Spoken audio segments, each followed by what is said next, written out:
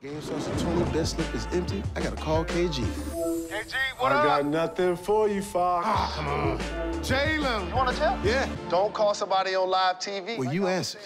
Have other friends anyway. Marshawn Barry. Listen, I need some tips. I like LA. LA? No, no, no, Dallas. That's Dallas? No, no, Dallas. Dallas? How about Detroit? Barry, calling Barry, y'all right with his now. Vanessa. I got a tip for you.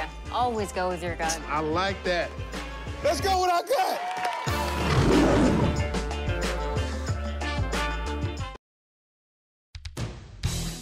Hey, this is Dave Whiteshadow from House of Cards with your House of Cards gaming report for the week of August 7th, 2023.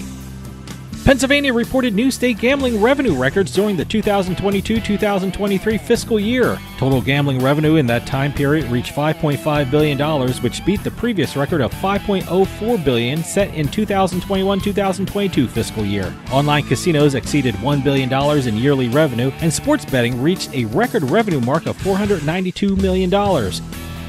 BetMakers announced a deal with Penn Entertainment. Under the agreement, Hollywood Casino at Penn National Racecourse will be added to the Monmouth Bets app, which will offer fixed odds on those horse races. BetMakers anticipates other Penn National races will be added to the Monmouth Bets app in the future. The Monmouth Bets app offers fixed odds on horse races and is available only in New Jersey.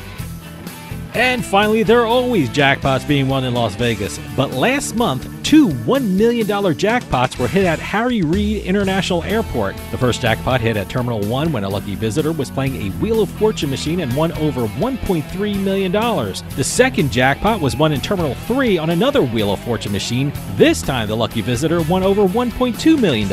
Next time I go to Vegas, I'm going to hang out at the airport.